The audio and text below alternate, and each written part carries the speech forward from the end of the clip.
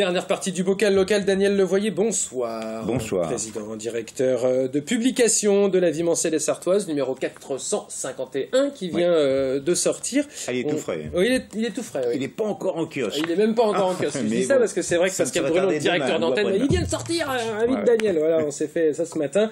Les DB, la DB euh, aux 24 heures du Mans, évidemment, euh, Daniel, pour un, un numéro qui sort au mois de juin, il y a toujours quelque Tous chose les ans, on consacré fait un euh, dossier, voilà. aux 24 heures du Mans. Je reviens sur votre édito, justement, euh, Daniel, euh, Oui. d'une manière assez courte, mais euh, je Oui. trouve qu'il résonne un peu euh, actuellement. Avec l'actualité, c'est vrai. ouais, avec euh, cette euh, dernière phrase, si seulement il en était ainsi de tous les combats entre les nations, c'est-à-dire que vous parlez, euh, on va dire, de la rivalité, euh, des pseudo-guerres qu'il peut y avoir euh, entre constructeurs lorsqu'une du course automobile, voilà. du public. Exactement. Et finalement, euh, ça reste euh, du sport, euh, même si c'est parfois un peu compliqué, c'est- âpre, euh, euh, voilà. Mais Ça euh, bagarre dur, mais voilà. cela dit, il y a un respect total euh, et des coureurs et des participants et des spectateurs. Effectivement, c'est un moment d'émotion au moment euh, quand les hymnes nationaux sont joués.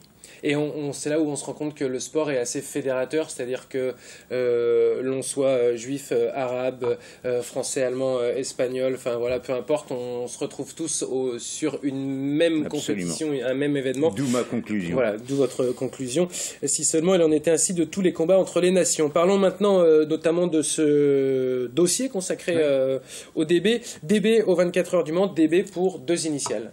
Deutsch, Deutsch Bonnet. et Bonnet. René Bonnet, Charles Deutsch, qui ont qui avaient préparé des voitures avec des moteurs Citroën. L'un était garagiste, l'autre ingénieur. Absolument, l'un, oui, absolument. Euh, D'ailleurs, l'un, je crois que l'autre, si l'un était garagiste et l'autre ingénieur, inversement, euh, ils pouvaient être ingénieurs tous les deux en tout cas. ça. Et c'est vrai qu'ils avaient participé, euh, Deutsch a participé une seule fois en 38 sur moteur Citroën. Mm. Et puis Citroën n'a pas fait perdurer l'aventure.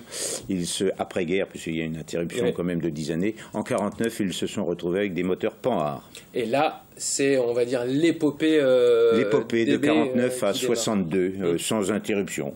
Alors avec euh, des hauts et des bas, mais avec de belles performances pour des de voitures. petites voitures Et de très belles.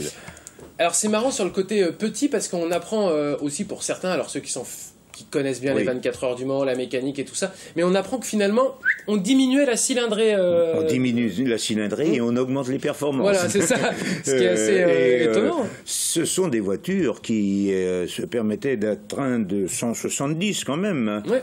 En 59, 60. Ce qui veut dire que ça poussait déjà, hein, pour des petits moteurs, pour des moteurs de 55 chevaux. Ouais. Euh, je ne sais plus combien de centimètres cubes, 800 et quelques. Mille- euh, 1911 cm3 au oui, lieu de mais alors, 1490. Ça, c'était Vous êtes pour, euh, déjà dans les années, euh, dans les dans les années dernières 49, là, ouais. Voilà, c'est Mm. ça.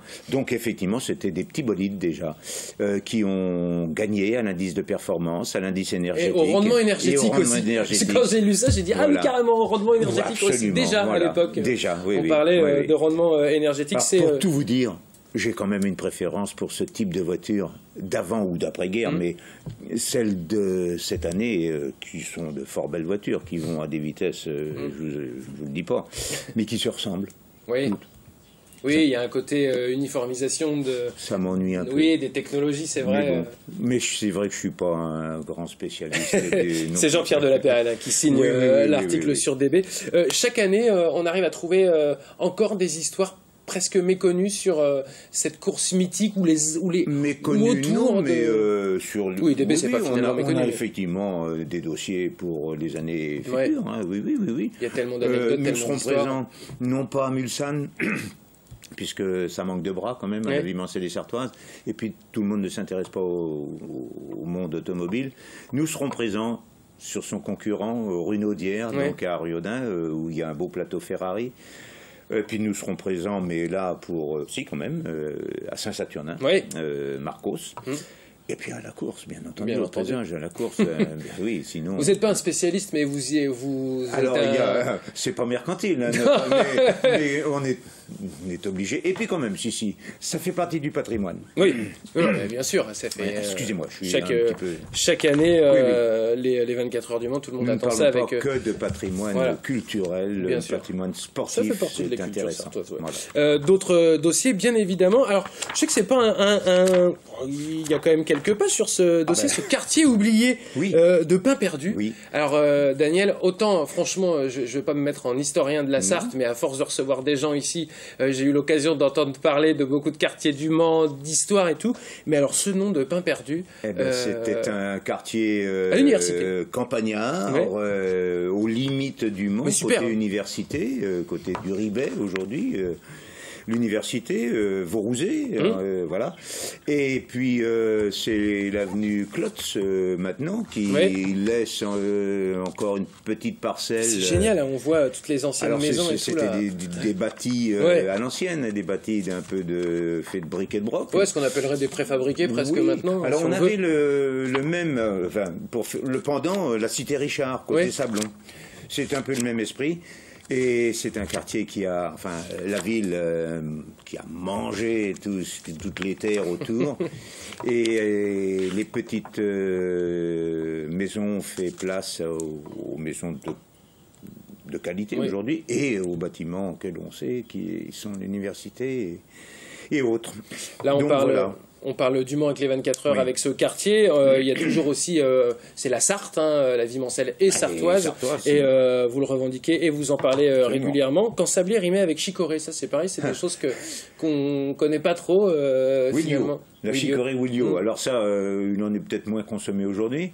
Moi, je sais que j'ai vécu, j'ai grandi dans une maison où ça les vapeurs, les odeurs de chicorée, les effluves, ben, ma foi, embaumaient toute la maison, la petite maison.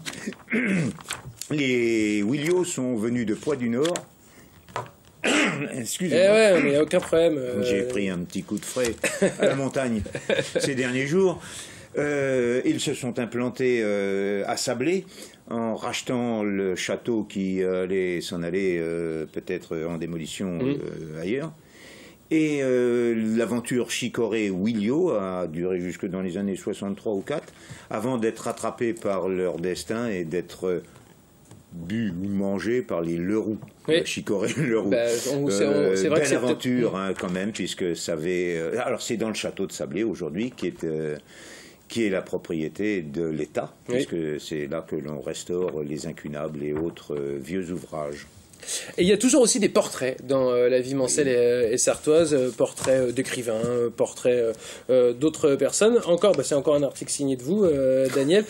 Pierre Salinger, on dit hein? Salinger. Salinger, ouais, Salinger. Salinger, c'est pas Quelqu'un proche du président Kennedy? Ah ben c'était son directeur de, presse, son directeur de oui de la communication et la Donc presse. autant dire qu'à l'époque ça commençait vraiment à être quelque chose d'important, ah, qui n'était pas si loin de chez, de chez nous. Il n'était pas si loin de chez nous.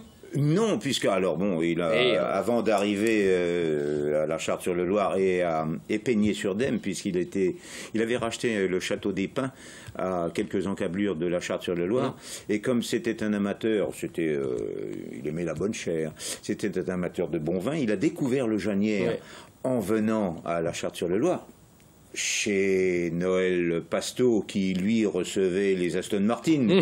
Et donc euh, là ça, buvait franc et ça mangeait les rillettes également. Donc il est venu ici il a fait connaître au-delà de nos frontières au-delà des, des, mers des océans de l'océan le Janière les rillettes. Et ce qui est intéressant aussi de savoir, c'est que Jacqueline Kennedy euh, est le dernier des Kennedy euh, sénateurs, le dernier frère des Kennedy, et sont venus ici euh, ah. tout à fait.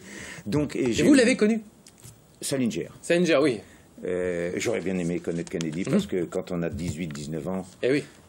C'était un espoir hein, pour les États-Unis. Mais j'ai connu Salinger pour l'avoir rencontré à signature de livre et j'ai une belle dédicace de lui. Voilà, c'est un moment inoubliable. Oui, j'imagine bien. Tous euh, ces dossiers sont évidemment à retrouver dans euh, la vie mancelle euh, et sartoise. Il y a, on en a parlé sur le dossier sur le DB, sur la DB, également sur le quartier du Pain Perdu, on l'a dit Salinger, mais il y a autre chose. Il y a ah aussi les agapantes, les agapantes en, voilà, de nos jardins.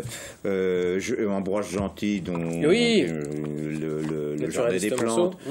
Et puis un peu de poésie avec Joël Sadler. ah, exact. Et à partir de quand on le retrouve, Daniel, dans kiosque? Les abonnés l'ont reçu. Demain, il est en kiosque. Mm. Jeudi, il est en kiosque. Et voilà. Ça, alors, jusqu'en septembre, puisque là, on prend un peu de vacances. Hein. on se retrouvera pour la 25e heure du livre, je, le précise. Eh ben, merci beaucoup. Numéro 451 de la vie mancelle et sartoise qu'on est toujours heureux de présenter et d'avoir avec vous, euh, Daniel, une partie euh, du sommaire décortiqué dans cette émission. C'est toujours un bonheur de vous recevoir. C'est euh, la fin du bocal local. On se retrouve très bientôt en septembre, Daniel, pour un prochain Vimancel et Sartoise. Ciao. Merci.